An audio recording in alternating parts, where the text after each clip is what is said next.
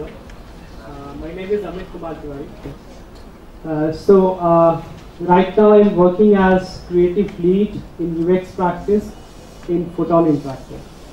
Before that, I have worked in Infosys for four years around as user experience designer.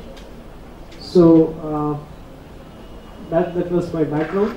So, I have, I mean, experienced quite a quite times that in order to design those Uh, interfaces which involve a lot of data is a challenge or is a kind of challenge for us.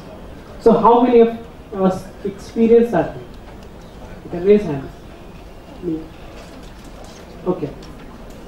So if you are having, I mean, a lot of data in that screen, because if we talk about design, it, it should be, I mean, mixed up of content, form, behavior, everything, right?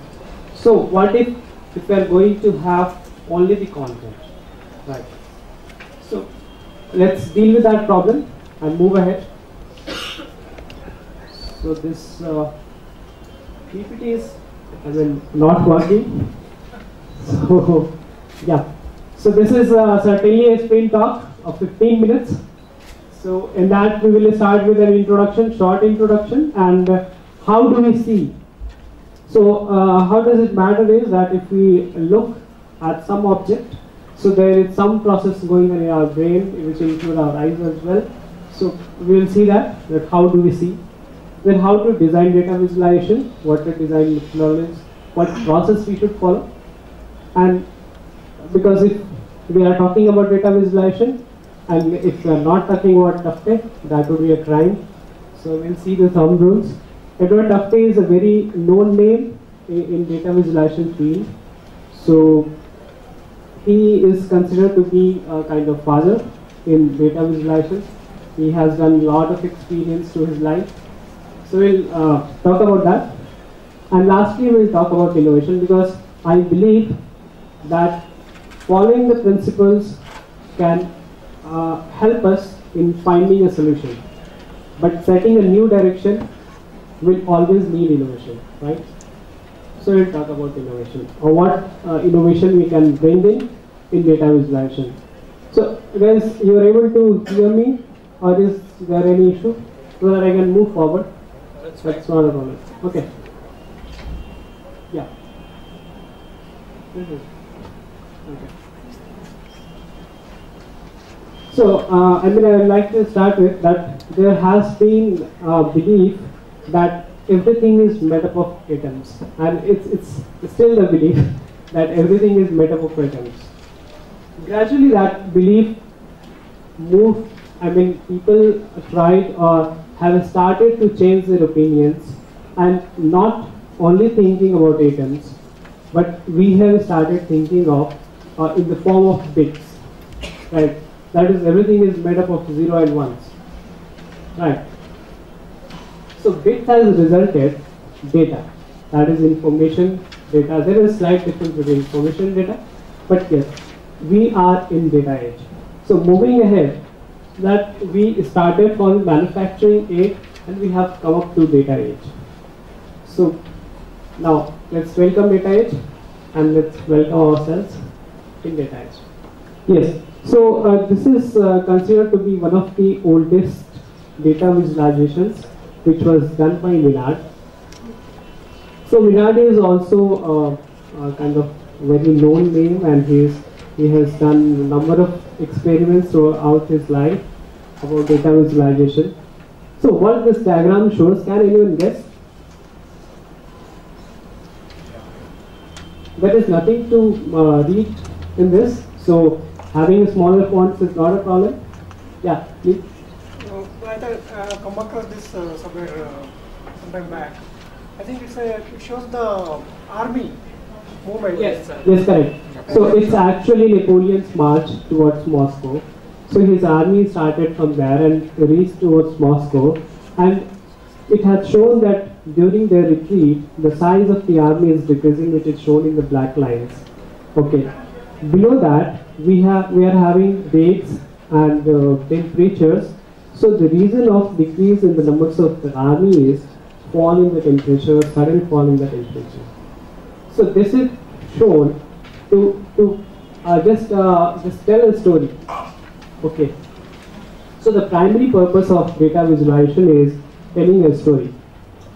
So using this particular map, he had shown numerous things, size of the army, then it, it's uh, actually transposed on a map which shows that how it uh, went to Moscow, went to Moscow and how it came back where some of the troops were uh, uh, not uh, returning back actually.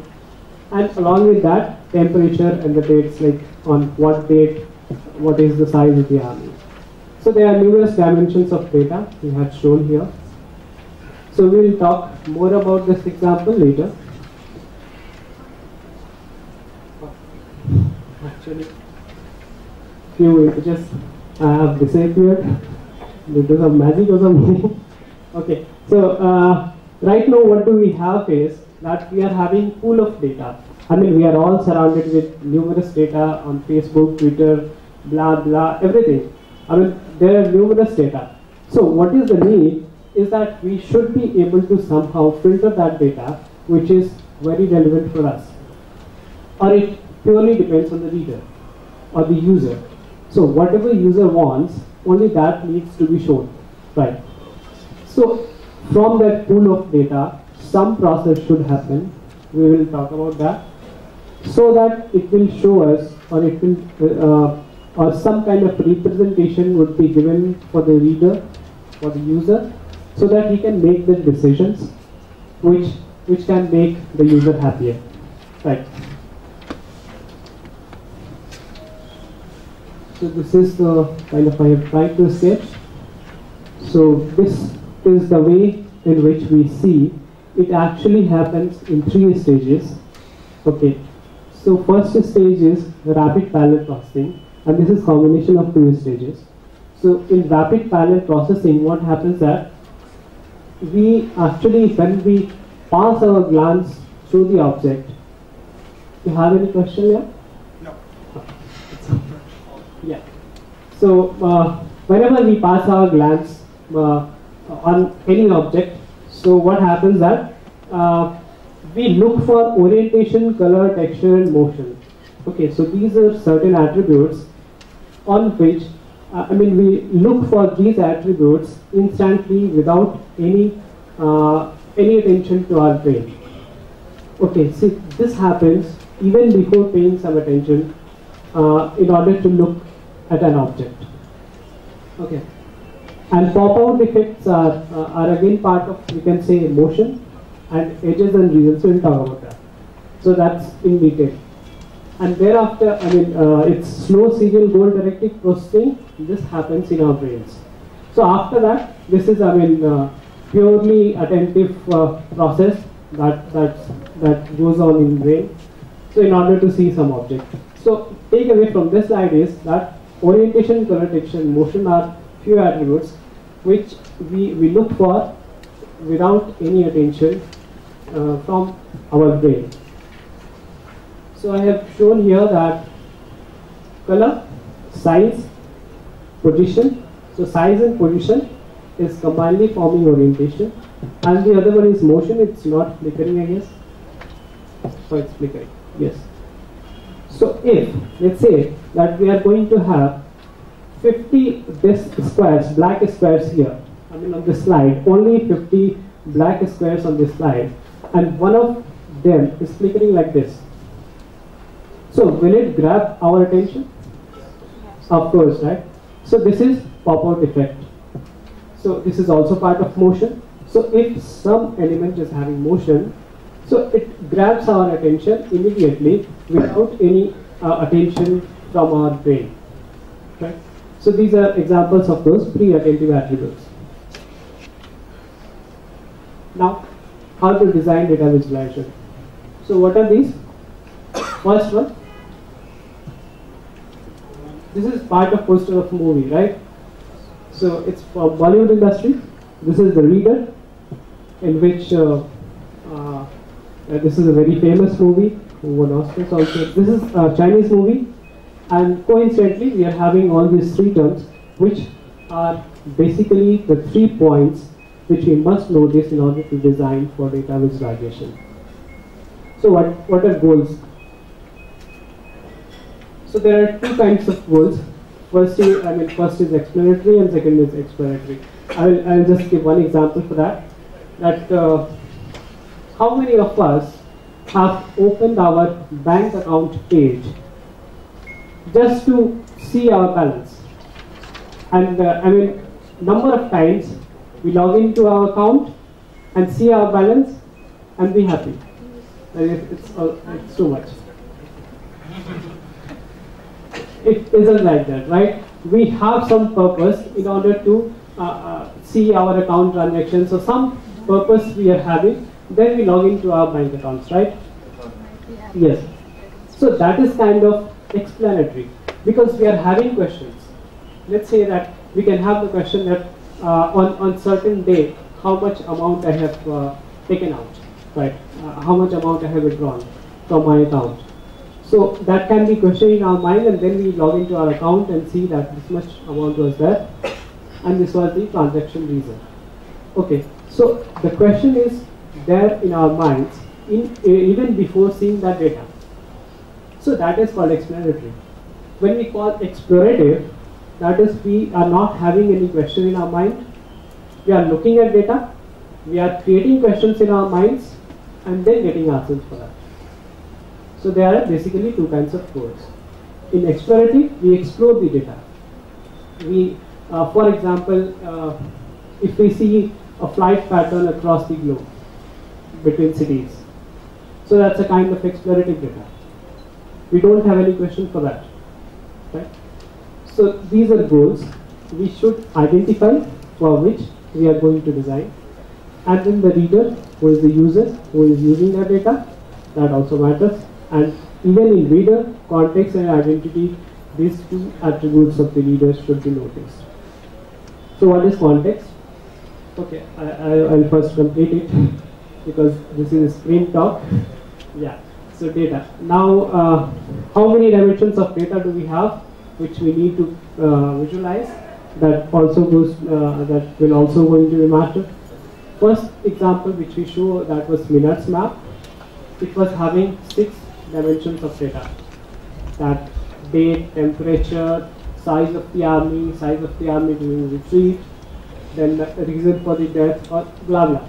So these are dimensions. So in order to show the uh, data visualization correctly, we'll have to fix on that how many dimensions we are going to show.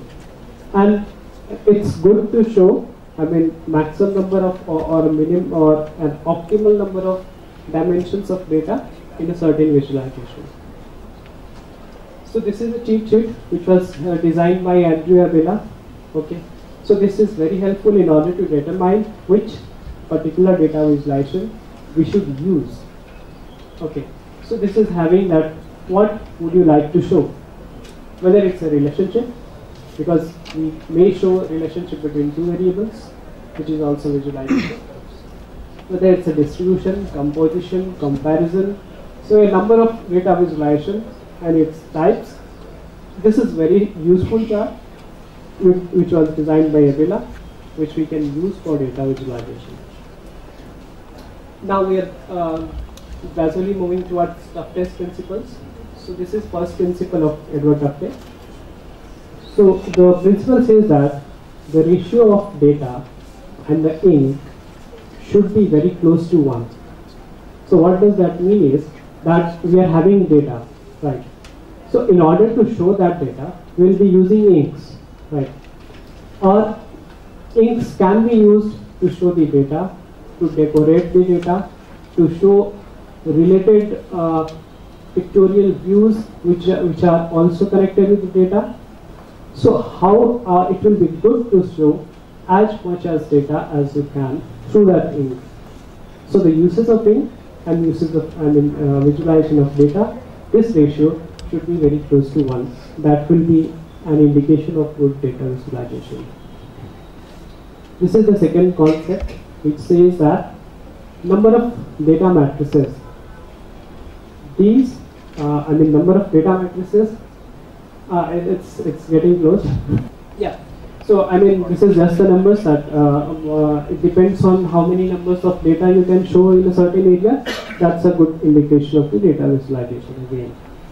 And yes, this is uh, this is an image which shows that this guy is sitting in a very uh, uh, in the middle of the sea. So here you can't see or you can't imagine that this is the sea in which that guy is sitting, right? So with the loss of frame of reference, we can lie to someone. We can easily lie to someone. So if we are going to show some data, we should always have a frame of reference. Okay. Yeah, so this was the example and interactions are, are the very important part of data visualization and this is the last and gist of this whole discussion. Okay, thank you very much.